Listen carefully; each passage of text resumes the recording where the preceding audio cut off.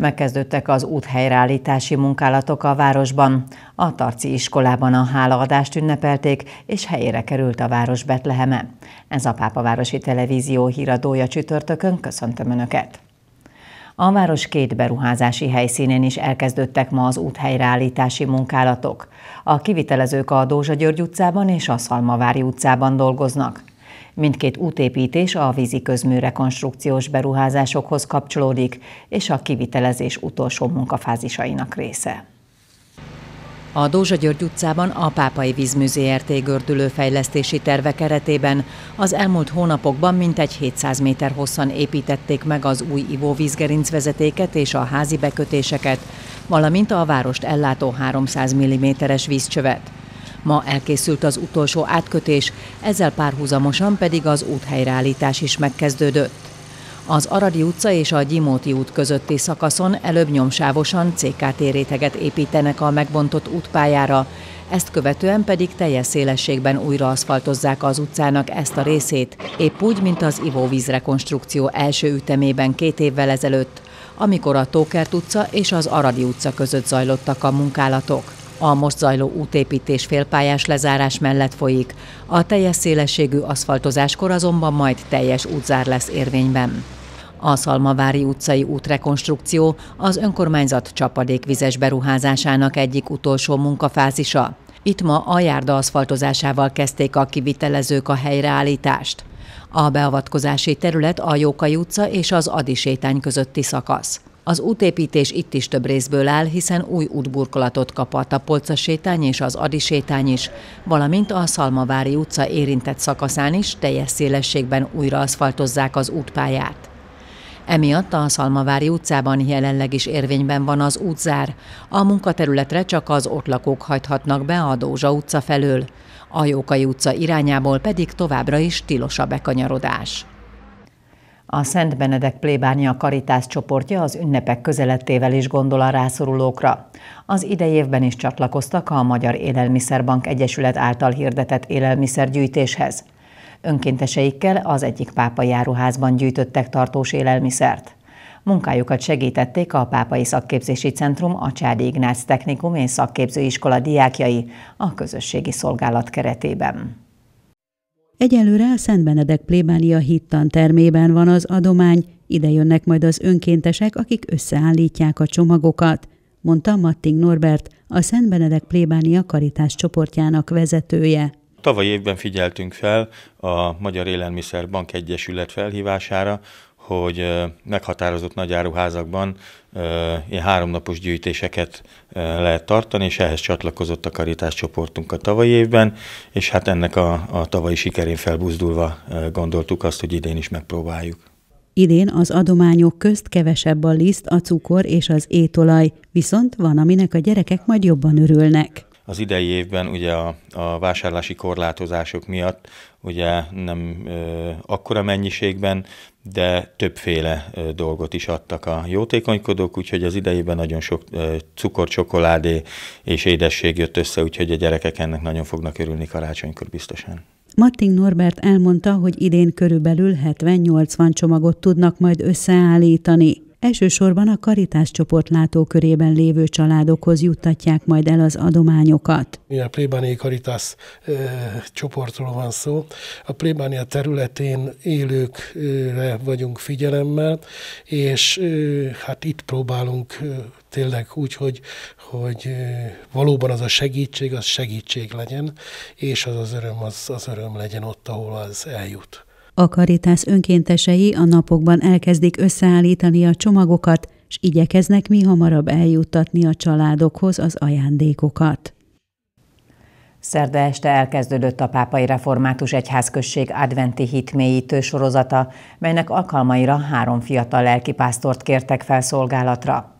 Az Ótemplomban pénteken Deák László és Marton Krisztián után Miklósi Koppány, a két tornyulaki Nórápi Dákai Borsos Győri gyülekezet lelkésze szolgál. Az alkalmak 17 óra 30-kor közös énekléssel kezdődnek, ezt követik az advent valódi üzenetét közvetítő gondolatok. Ahogy arról korábban már beszámoltunk, a napokban felállították a főtéren a már megszokott helyén a város karácsonyfáját, Ma délelőtt pedig a Betlehemet is összeállították a nagy templom melletti területen. A karácsonyfára, mely az idei évben is kékfestő díszekbe öltözik, délelőtt felkerült a fényfüzér is.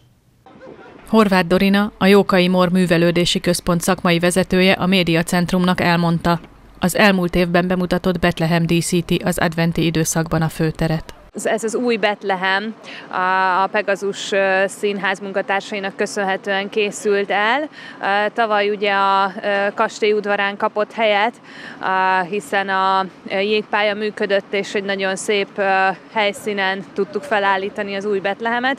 Idén viszont itt a főtéren állítjuk fel, így egy igazi városi advent és egy városi Betlehemet kap a lakosság. Horváth Dorinától azt is megtudtuk, vasárnap délután dr. Mail József apát plébános áldja meg a Betlehemet. Advent első hétvégén, tehát most vasárnap 17 órakor uh, dr. Mai József apát plébános úr fogja felszentelni a Betlehemet, és a majd ideérkező adventi koszorút is, és az első gyertya meggyújtását is megteszi.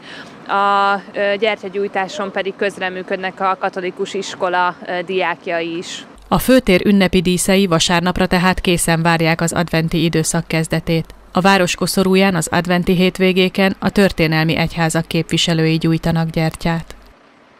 A Tarci Lajos általános iskola két tannyelvű tagozatosai az angol nyelv elsajátítása mellett megismerkednek az angol száz kultúrával, hagyományokkal is.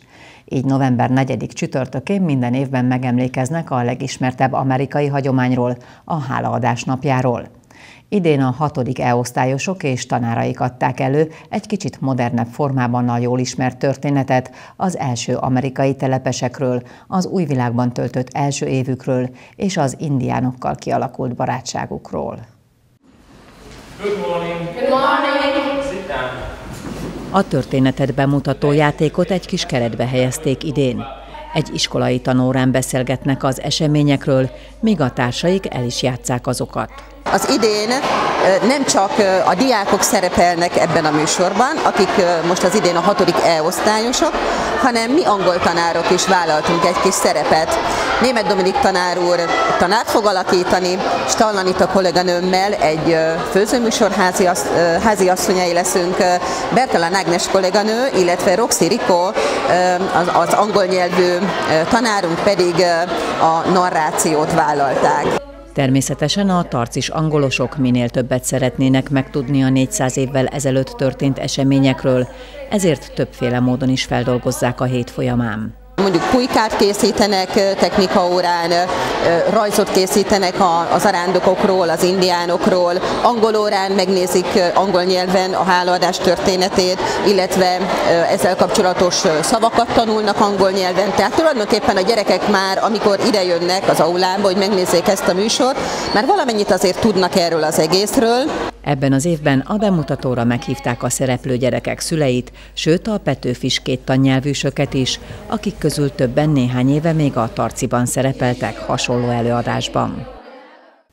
Híreink után a folytatásban a holnapi időjárásról hallhatnak.